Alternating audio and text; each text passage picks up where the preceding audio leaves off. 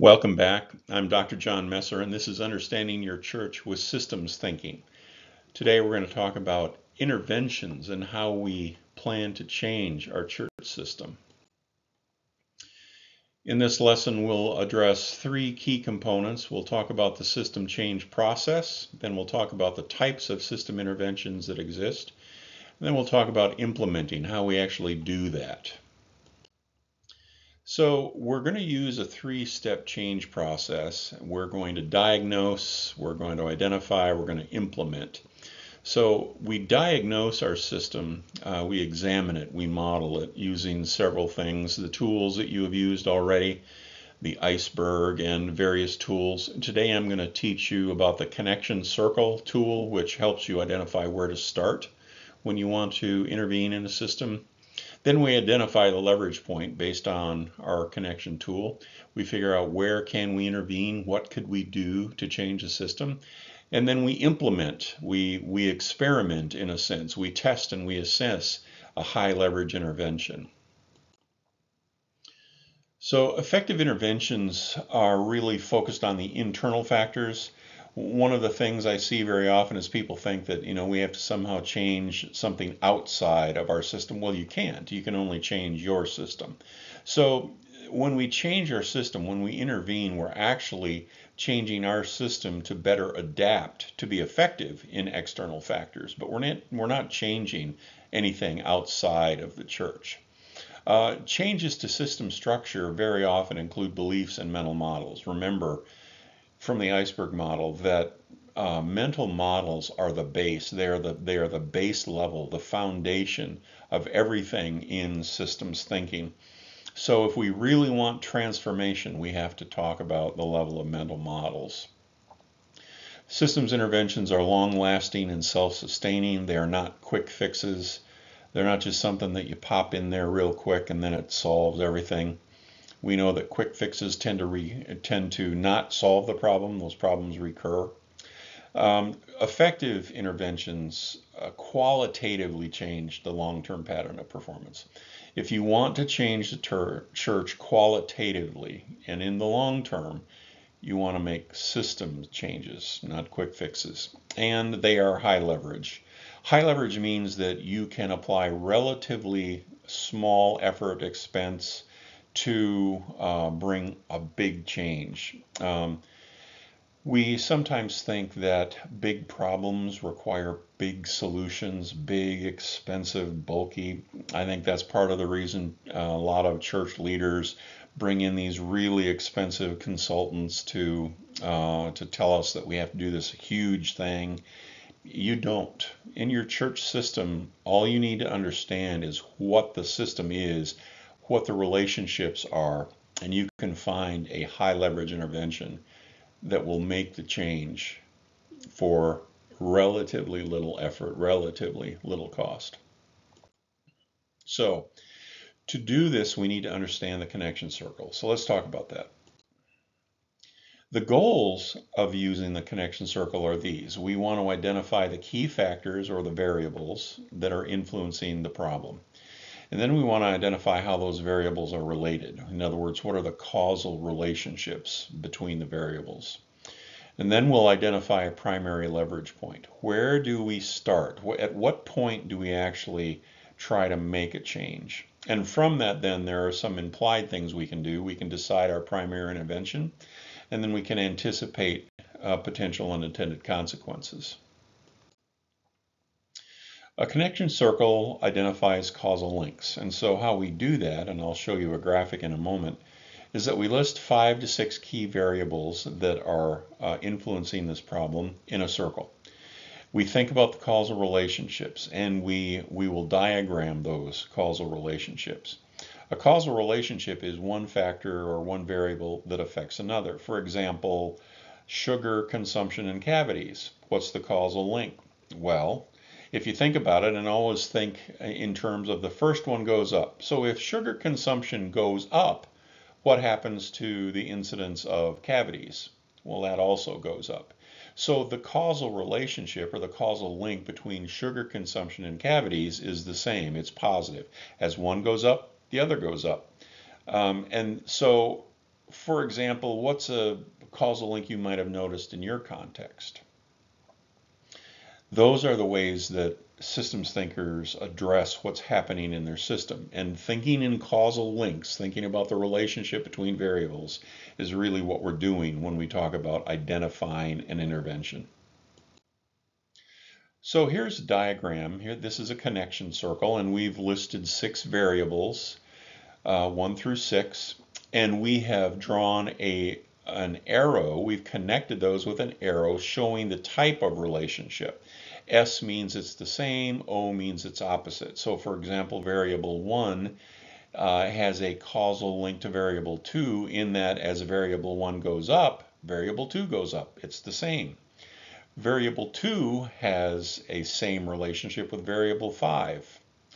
Variable 3, for example, has an opposite relationship with variable 4. So as variable 3 goes up, variable 4 goes down.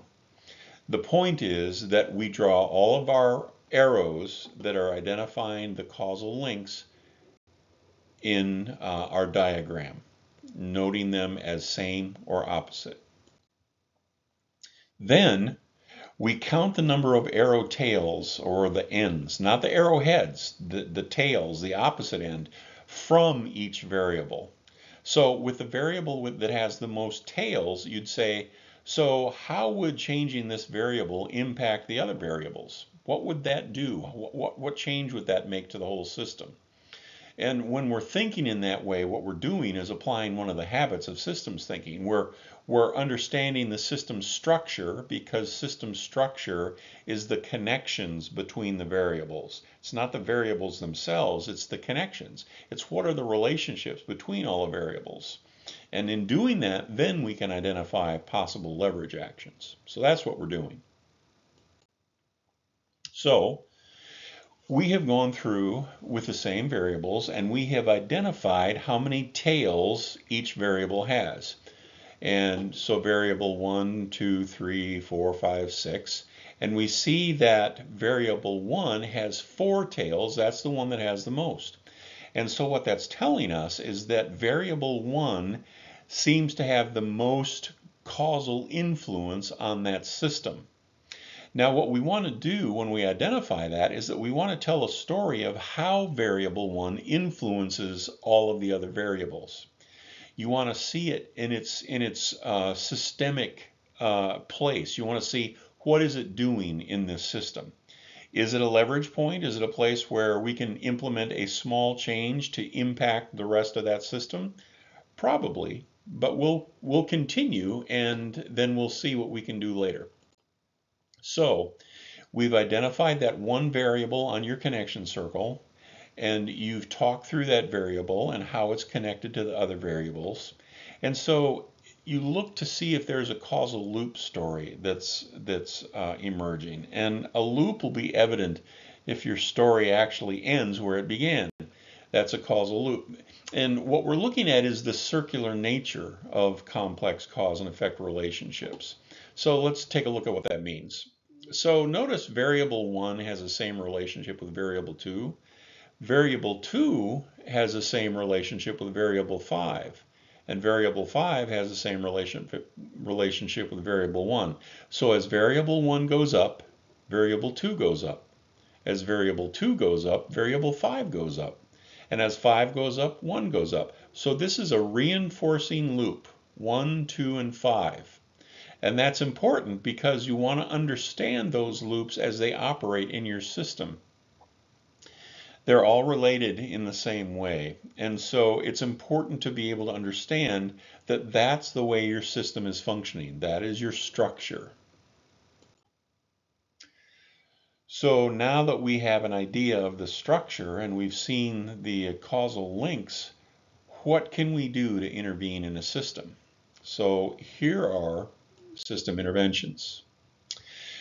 There are lots of places to intervene in a system. Some are more powerful than others, but uh, for example, these generic things, you can regulate negative feedback loops. You can drive positive feedback loops. You can affect information flows You can deal with the rules of the system. You can impact the power over the system, the bylaws, constitution, the leadership of the system. You can deal with the goals of the system, like the mission outcomes or the vision of the system. And most importantly, remember, you can deal with the mindset or the mental models, the paradigms of the system out of which the system arises. And, and again, remember, mental models are the level of transformation of a system because from mental models comes the structure. Structure influences patterns. Patterns are uh, from are where events occur. So, mental models or mindset and paradigms are one of the powerful interventions uh, and apply to pretty much every system intervention.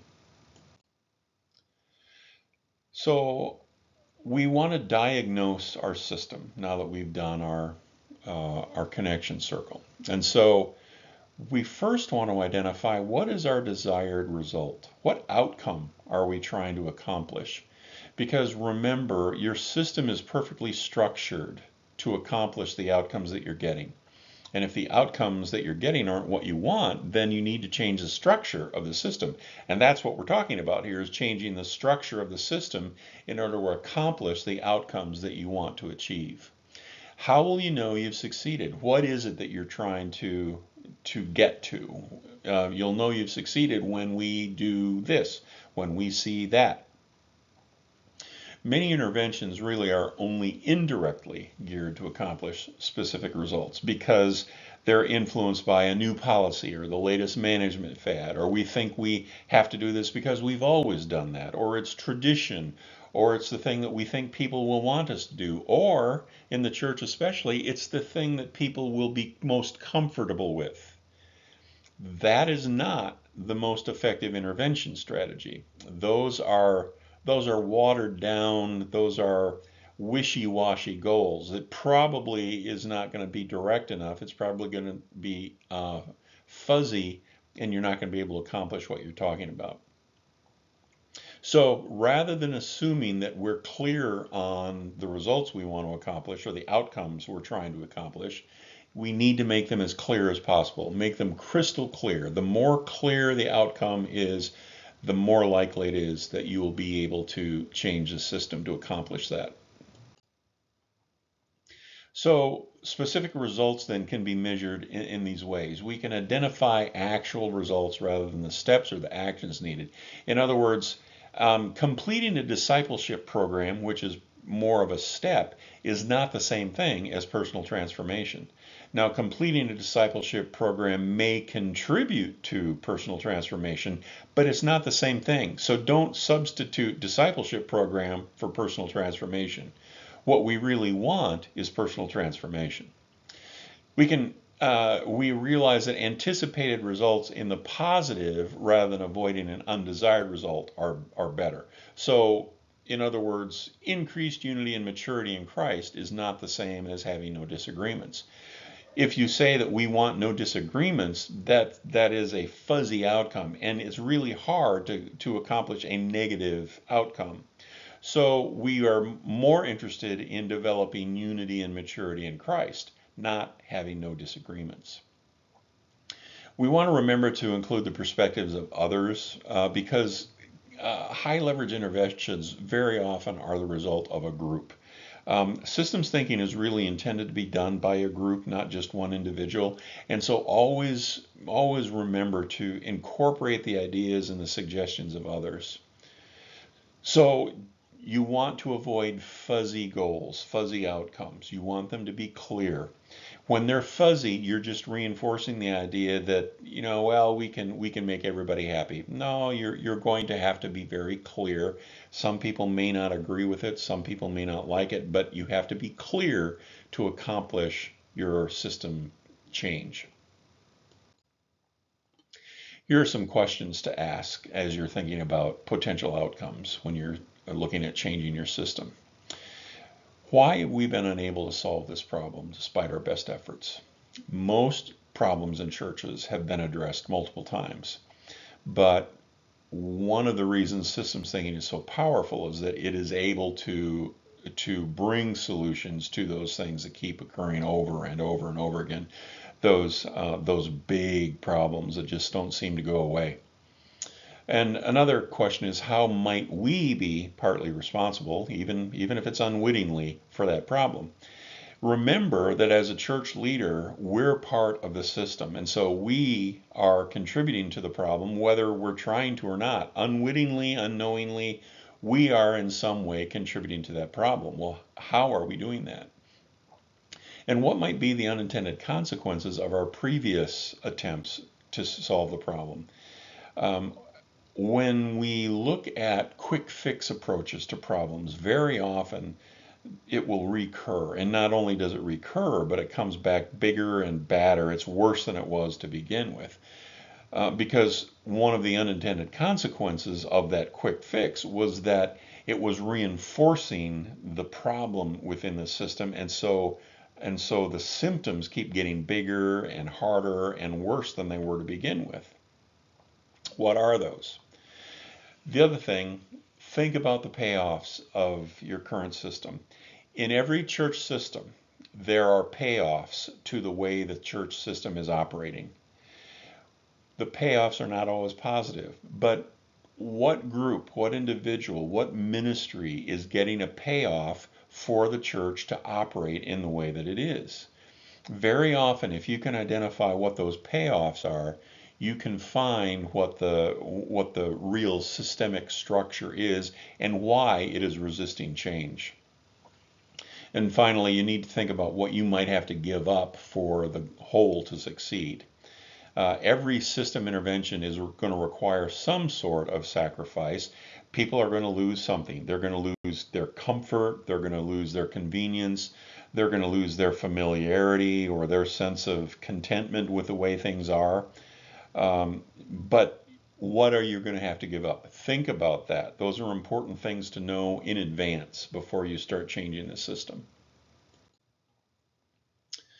So our interventions are potentially delays, uh, negative feedback loops, positive feedback loops, information flows, mental models.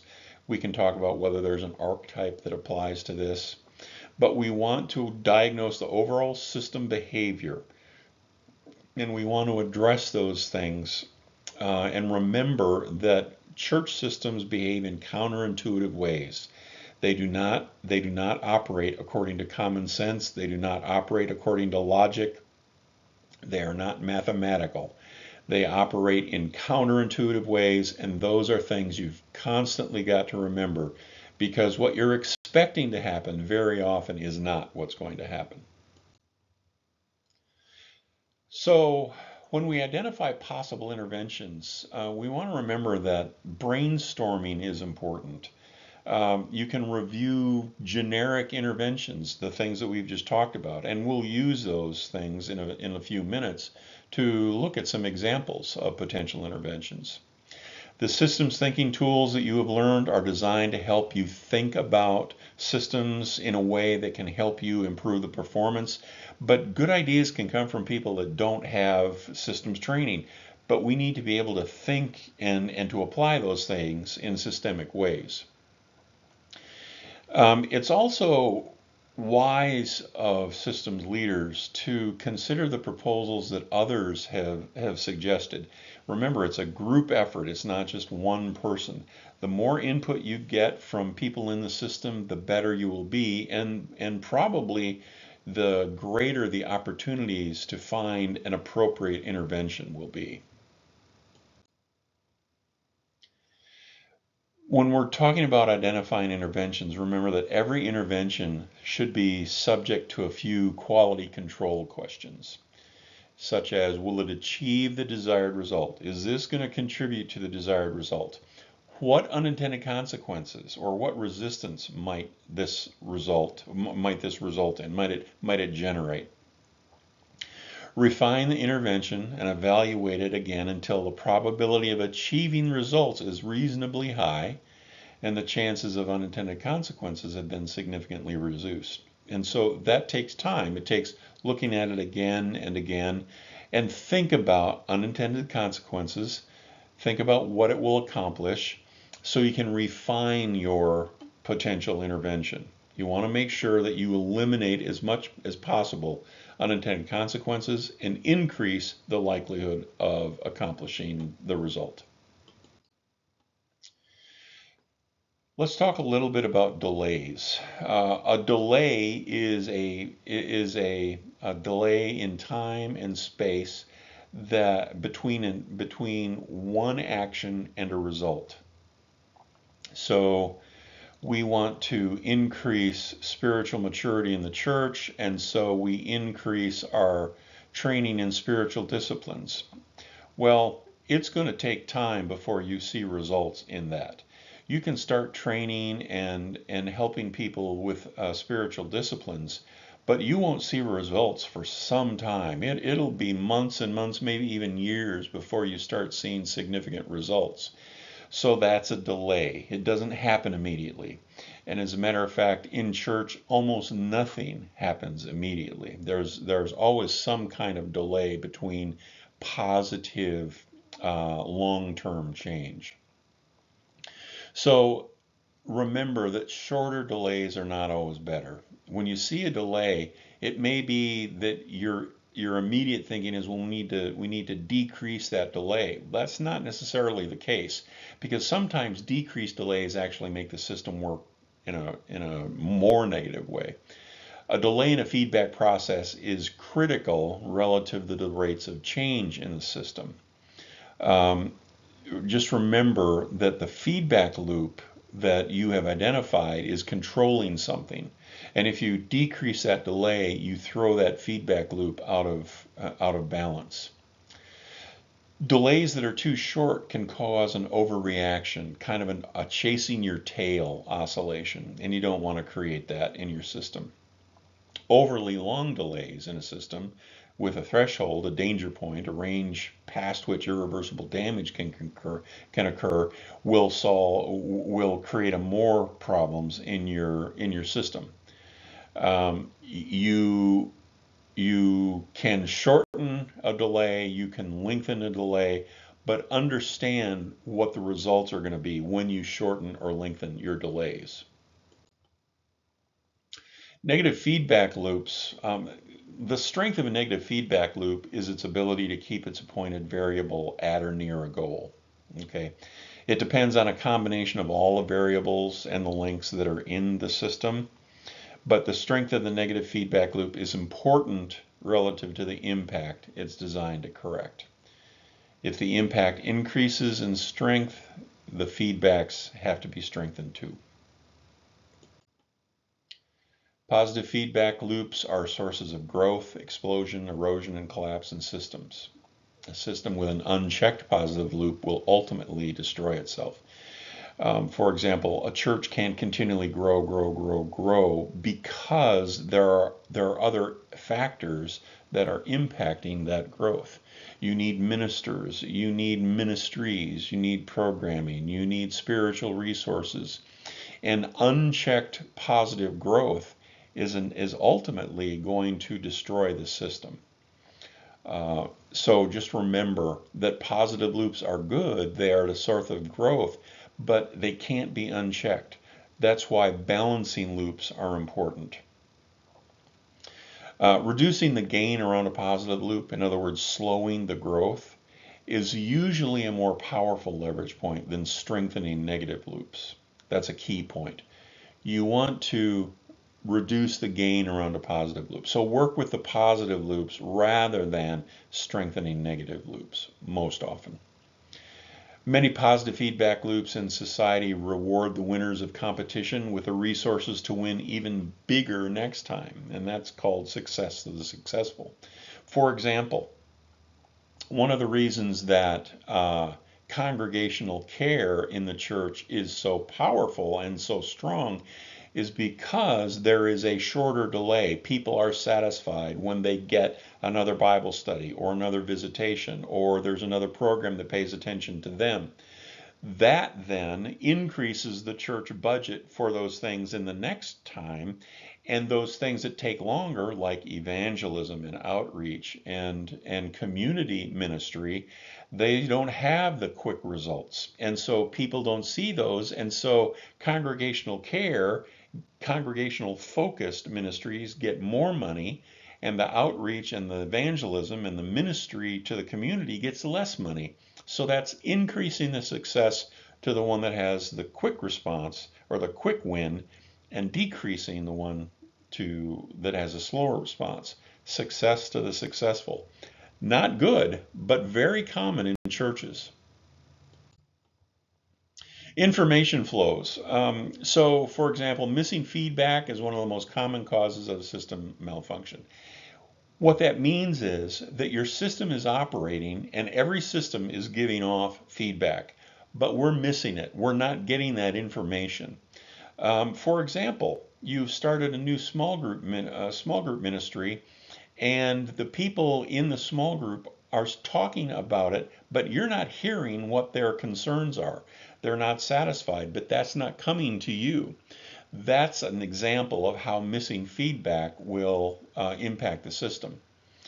Information flow is not a parameter adjustment. It's not strengthening or weakening an existing loop. It's always a new loop. It's increasing. It, it's increasing the number of of information loops. It's increasing the the amount of opportunities or venues for information.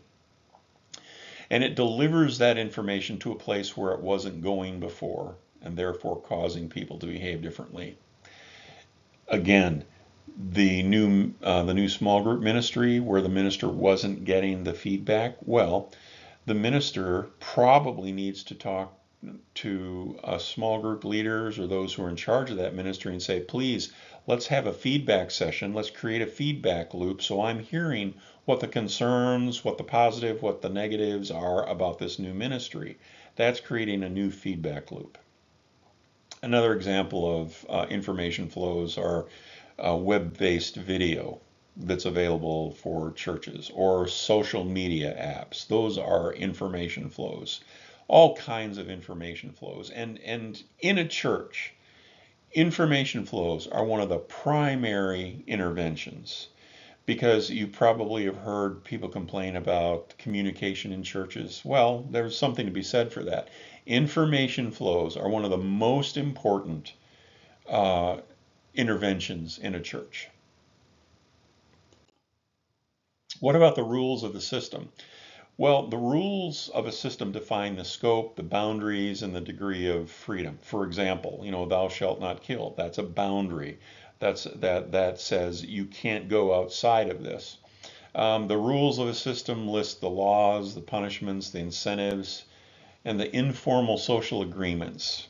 Um, that are progressively weaker. Um, laws, punishments, incentives, informal social agreements are, are weaker than laws. Incentives are weaker than laws. Um, in a church, your rules of the system are your constitution, bylaws, guiding principles, the polity of your denomination. Those are the rules of your system. And rules are high leverage points. If you can change the rules, you've got power over the system. So, if you want to understand the deepest malfunction of system, pay attention to the rules and who has power over those rules. Really important when you're talking about changing bylaws. You're talking about one of the most powerful interventions in a system. Changing the Constitution, powerful intervention, and those people who have the power to change them that's important in a church. The goals of the system are like your mission statement, your vision statement. Um, their system goals are not necessarily what we think of. They're not uh, much deducible from what anybody says as from what the system does. The goals of the system are driven by system behavior. So, like survival, many systems are simply surviving. And there are churches that the goal of the church is merely to survive. It's not to maximize its ministry, it's not to flourish, it's to survive. Uh, resilience is one of the goals of the system. uh, differentiation can be a goal of the system. Evolution are system level goals, uh, like corporation systems or cancer cell systems.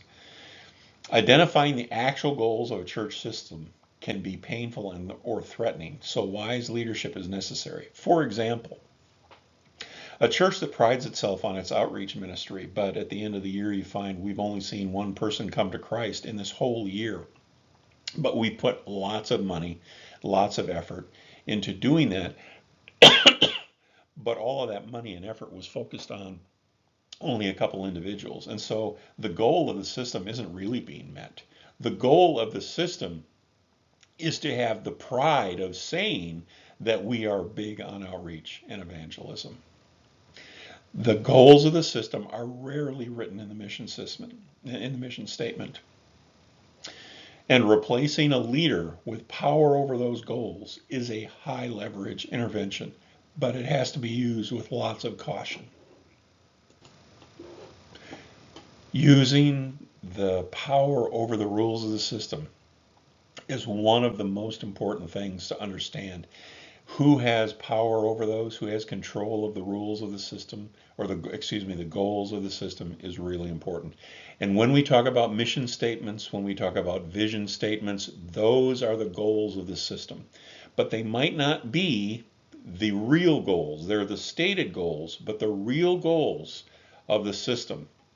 And that's where it's important to think about, you know, what are the payoffs in this system? Because very often the payoffs in the system are related to the real goals of the system. In a church, it is possible that the goal of the system really is to be as comfortable as possible. In a church, one of the goals of the system can be to have the minister do as much as possible. In a church, one of the goals of the system can be to have a great experience on Sunday and do nothing the rest of the week. Those are real goals of real systems, and you need to be able to say those. You need to be able to address those and recognize those honestly and forthrightly. But it takes wisdom to do that.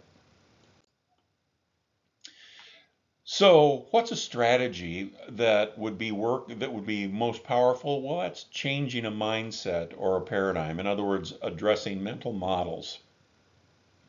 You know, for an individual, all it takes to change our mental model is just a click of a new idea or a new understanding. You know, the scales that fall from our eyes, that, that changes our entire outlook. It's a new way of seeing. But when we're talking about a church system, it doesn't work that way. It's not that fast. An entire church system uh, requires more effort for it to adopt a new mental model. And how church leaders do that is by emphasizing the anomalies, those things that are not the way they should be, the failures of the old paradigm or the old mental model. You keep saying louder and louder with assurance from this new perspective that this is the way we need to walk in this so that they can see that this new way is different than the old paradigm so that people can say ah i see. I need to i need to update my understanding of this.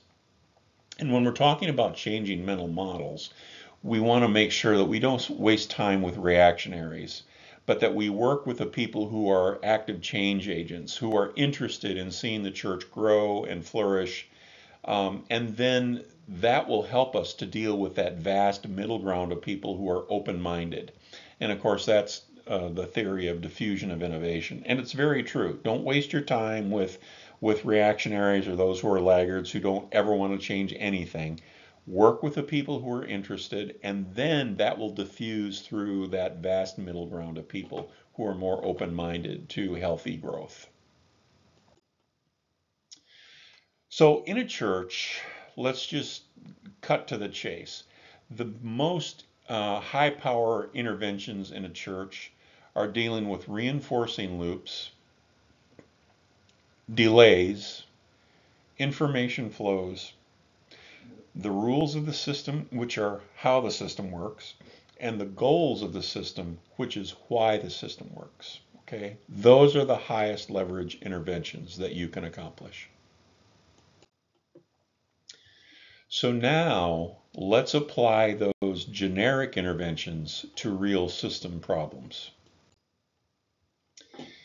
In Exodus 18, Moses is confronted by his father in law Jethro, and Jethro asks questions and he says, What you're doing is not good, Moses, because there was a dispute.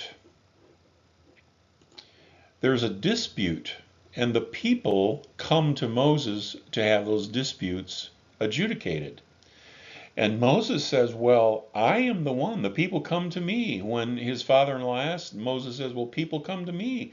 God has said, I am the one who needs to adjudicate these. And so Moses, as the disputes increase, and the entire uh, entire community of Israel, they all come to Moses. And Moses says, Well, I need to adjudicate all of these. And so his ministry time keeps increasing and increasing and increasing.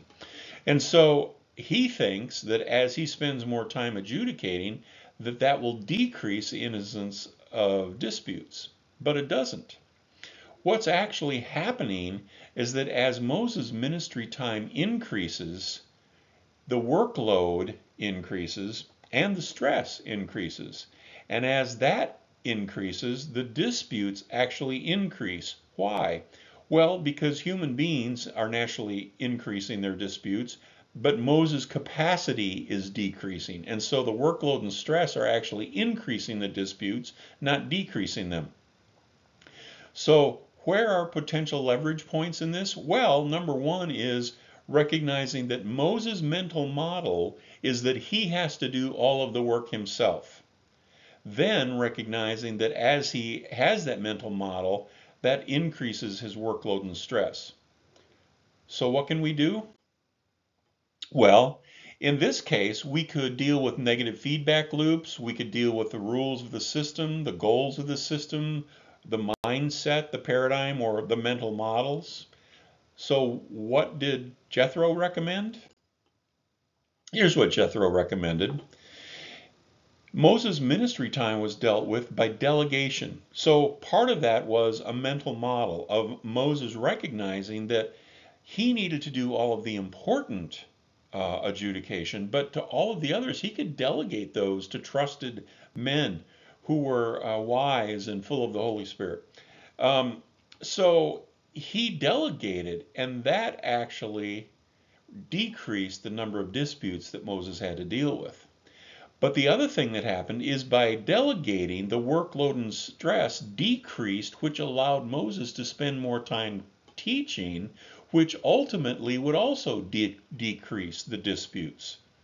So Jethro suggested to Moses that he add a link at B1, and he did, that he add a loop at B2, the teaching, eh, which he did, and that re that reduced the negative feedback on on R3, the workload and stress. Because Jethro said, you, you're to teach them. Moses, you said you're to teach them, but you're spending so much time adjudicating, you're not teaching. So by delegating, that allowed him to decrease the disputes by sharing the workload, but it also allowed him to spend more time teaching, which, although it would take time, would ultimately decrease the number of disputes that would have to be dealt with overall. So that is a powerful system intervention that we see in Exodus 18 with, Joseph, with Jethro and Moses. Here's a real life example. We have churches that say we don't have enough youth. We don't have enough youth. We look around and we're all we're all 55 or 65 and older. Well, how are we going to do that? Well, in a church system, there's always a uh, a long-term solution, a more fundamental solution, and that would be that the congregation would be involved in ministering to youth. Because the more congregational members are involved in youth ministry, the more youth we'll attract.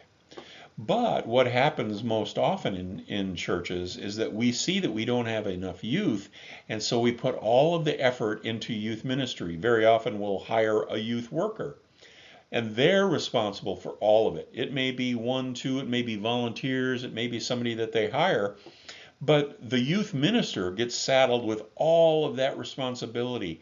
And so the congregation doesn't pay any attention because all of the effort has been put into this. That if we just have a youth minister to do all of this for us, then we should start seeing more youth in our church. Well, the problem is this when we do that, that mindset, We we have a youth worker, but they take on all of the responsibility, and the congregation has a decreased sense that the congregation needs to be involved because we've hired a youth worker. That's their job. That's not our job. So they should be doing this. So we don't have any responsibility to minister to youth. That's a problem. And that is a common system issue that we see in churches. So what can we do? Well, we can deal with the delays, the information flows, the rules, the goals, and the mindset or the mental models. Here is one way of dealing with that. We recognize that expecting a youth minister or youth ministry group to handle all of that is probably not wise. So we could we could focus more on the fundamental or the more biblical solution, and that is let's decrease that delay by equipping the congregation for youth ministry by by using a third party equipping person or group in the short term, which in the long term will increase our ability for the congregation to be involved in youth in youth ministry, which will which will bring more youth into the church. Then also the youth ministry people that we have within the church will be able to be more effective in their ministry because they have more congregation members involved and that then can deal with the with the need to equip the entire congregation for youth ministry. And the youth ministry worker won't just be doing Bible studies and events and cookouts and and campouts for youth, but they'll also then be equipping the congregation to help with the youth ministry. And so that shortage will uh, be dealt with. Here's another one. Uh, I call this the helicopter ministry approach congregational maturity is low. And there is a biblical way, a long term, more fundamental solution, and that is biblical teaching and biblical equipping.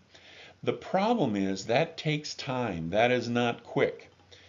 So, if we want to increase congregational maturity, one other thing we could do is well, we'll just have the pastor do it all. We won't we won't put the res, the responsibility on ourselves. Pastor it's kind of your job to to do all of this for us. And here's what happens. When that's true all kinds of helicopter pastors just like helicopter parents you know they're constantly hovering to make sure that everything is handled. Well that covers over the real need for the congregation to grow up and mature but the other thing that happens is that the pastor gets a lot of affirmation for his personal attention to all of the people in the congregation. And what does that do? Well, it decreases the congregation's sense that we need good teaching and equipping so that we can grow up into Christ. We really appreciate the fact that our pastor is always there for us when we need him. He's always there to pray for us. He's always there to explain the Bible to us. He's always there to help us in worship we really just rely on him. And oh, we'll tell him how great he is. We'll give him gifts at at uh, at Christmas. We'll we'll make sure he feels warm and loved on Pastor Appreciation Month. But we don't need more teaching and equipping. Well, that's wrong. Actually, that's exactly what they need. And the pastor needs to recognize that being a hovering helicopter pastor is being a disservice to the congregation. So what can we do? What would you do? Would you deal with the delays, the negative feedback loops, the positive feedback loops? Would you deal with information flows, rules of the system, goals of the system, mindset? What would you do? Well, here is one thing we could do. We could focus on decreasing the delay between teaching and equipping in some ways. One way we can do that is for rather than the pastor be a helicopter minister, he could be an apprenticing minister where he apprentices a group who will become the teachers and equippers of ministry. But of course, to do that, you have to engage in that biblical equipping and teaching of the group, the, the apprenticing of the group. Uh, spiritual giftedness is important here. We need to understand those things. The other thing is that the minister could help the congregation understand that the mental model that a pastor is to be a helicopter, or somebody who hovers over everyone, is unhealthy and unbiblical, it would be very important for that to happen. The other thing that we need to recognize is that the pastoral affirmation that decreases the sense of need for teaching and equipping has to be dealt with. And that would be a case where the other leaders of the church would want to intervene on that and not decrease pastoral affirmation, but make pastoral affirmation based on teaching and equipping, not just being there to pray for, teach, and do all those things that the congregation wants them to do. There are a lot of different ways to do this, and one of the other ways to do that would be to change the rules of the system and to change the goals of the system. But that requires uh, those who are in charge of those things to make the changes. But that is an intervention that we could make. So, take a moment to talk about what you would do with that system and why you would do it. So, in a systems thinking process, as we wrap this up, just remember that as we're going to intervene, we want to define the problem and issue very carefully. We want to use the tools. We want to use the systems iceberg. We want to model it with especially the connection circle. And remember that when you're going to intervene, you need to remember that systems in a church are counterintuitive. You have to apply that. You have to assess where those counterintuitive behaviors are occurring and take those into account. And then the four questions that you always want to ask is what's happening? Make sure that you tell the story, make sure that you understand clearly what's really happening. And then you want to graph what has been happening. Why, despite our best efforts, do we uh, not are we not able to solve this problem, or are we not able to keep missing? why do we keep missing deadlines? Um, identify structural explanations. Remember, structure is the connections between the factors.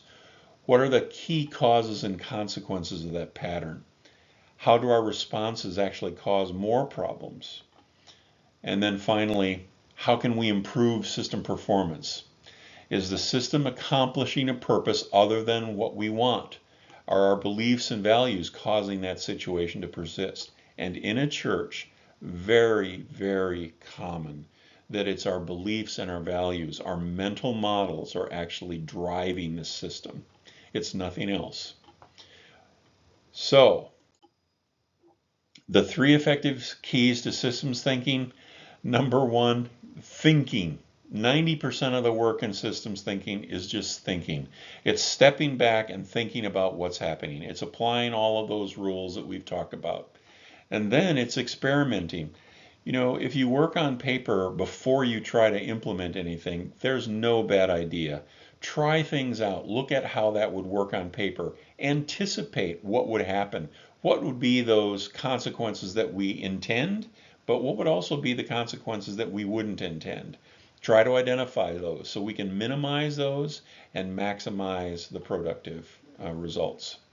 And then we want to refine and define. The more time you spend defining what is and refining what you're trying to implement, the more powerful it will be. So, as we wrap this up, I know that's a lot of information, but as you work through it, you'll see that um, the systems thinking is really about paying attention to what's happening. It's about thinking through why things really work the way they work and understanding what's really driving that system. And as you do that, you will find that you can you can make high power lever high leverage high power interventions that will bring change, positive change to your church system. So, thank you so much for your interest. Thank you so much for your attention. And thank you for investing in doing good things for your church with systems thinking. God bless you, and may you see success and may you see wonderful spirit led change as you implement these things in your church. Thanks. I'm Dr. John Messer. Bye.